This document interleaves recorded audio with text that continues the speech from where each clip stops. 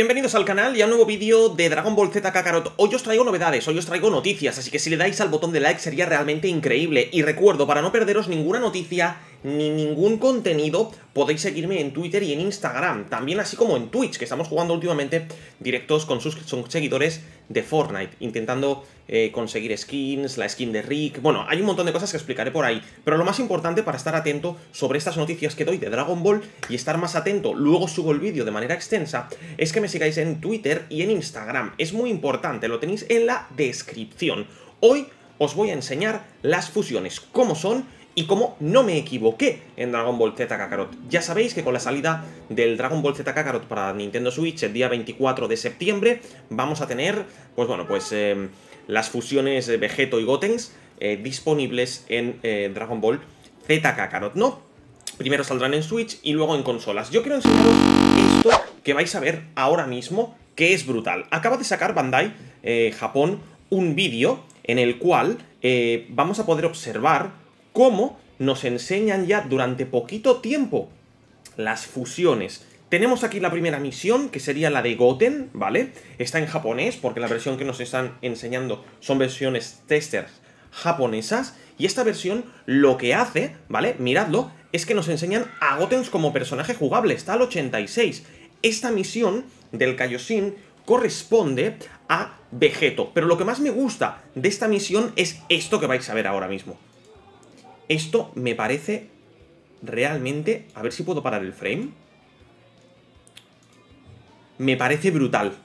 Que se fusionen Goku y Vegeta y tener esto en el juego me parece brutal. Como ya dije, esto sería una transformación, obviamente. O sea, el personaje lo que hace es darle, completa la misión secundaria, se transforma y podemos jugar con Vegeto y con el señor Gotenks. Yo creo que es de admirar y creo que este DLC eh, o esta parte gratuita va a ser bastante entretenida. Muchos de vosotros me preguntáis si estos personajes eh, se van a conseguir a través de, yo qué sé, em, bueno, ya lo habéis visto que es a través de misiones, pero si se van a poder utilizar, y muchos de vosotros sí que se va a poder utilizar, muchos de vosotros me preguntáis sobre Goten y Trunks.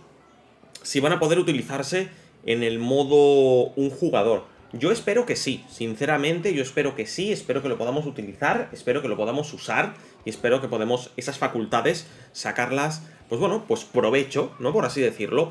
Lo que más me gusta de aquí es la fusión, cómo se juntan estos dos, me parece realmente increíble y lo que están haciendo con Kakarot me parece realmente brutal. Yo quiero dejar clara una cosa, y es que el 24 de septiembre nosotros vamos a probar el Kakarot aquí, en el canal para Nintendo Switch y probablemente lo completemos, ¿vale? Lo completemos, hagamos una review aquí en el canal de Twitch, vayamos jugando un poquito al Kakarot de la Switch. Probablemente también nos enseñen la nueva Switch OLED, ¿vale? Estos básicamente los que han subido hoy de Nintendo Switch, han subido un poquito pues la explicación, ya la sabemos, ¿no? De Dragon Ball Z Kakarot, cómo funciona el sistema, el sistema que tenemos de emblemas para mejorar las comunidades, el sistema de comer para obtener beneficios, el sistema de experiencia, de nivel... Aparentemente se ve muy bien el juego, Veo que no hay ninguna bajada de frame en combate, pero sí que he notado alguna bajada de frame, sobre todo cuando Goku, tengo el frame por aquí, cuando Goku va a pescar. Cuando Goku va a pescar, fijaros que ahora va a salir, sí que noto a Goku cuando hace el, gesto un poco ralentizado. Aquí. Ahora viene el gesto. ¡Ahí! ¿Lo habéis notado? Hay como una pequeña bajada de FPS, que es lo único que puedo notar, por así decirlo. Miradlo, cuando levanta, se levanta de alegría. Noto una pequeña bajada por norma general todo funciona correctamente. Este es un juego que tiene gráficos de Nintendo Switch, con lo cual era cuestión de tiempo eh, sacar este juego en Nintendo Switch. Y jugarlo en la Nintendo Switch modelo OLED tiene que ser realmente increíble, realmente brutal. Con lo cual, eh, solo puedo deciros que... Si tenéis la Switch y queréis jugar a este juego, os lo recomiendo que lo compréis, porque es realmente brutal, es realmente increíble, no os va a decepcionar. Y yo, chicos, ahora sí, me tengo que despedir. Espero que os haya gustado este mini vídeo. Tenéis la serie de Super Dragon Ball Heroes que estoy subiendo en el canal. No gano dinero, no cobro dinero, no está monetizado. Simplemente es para que sigamos la serie como fans de Dragon Ball. Eso sí, si queréis que salga este parche de fusiones eh, gratuito para consola, demostrándomelo dándome al botón de like. Y si queréis hacerme alguna pregunta, esta noche estaré en directo jugando en Fortnite, ¿vale? La temporada 7, a ver si consigo la skin de Rick. Y tenéis mi Twitter y mi Instagram. Lo repito otra vez, mi Twitter y mi Instagram, si sois Science de verdad y queréis apoyarme, ir corriendo a seguirme porque os vais a encontrar muchas novedades. Muchísimas gracias por estar aquí, darle al botón de like, suscribiros al canal si no lo estáis y nos vemos en el siguiente vídeo. ¡Hasta la próxima!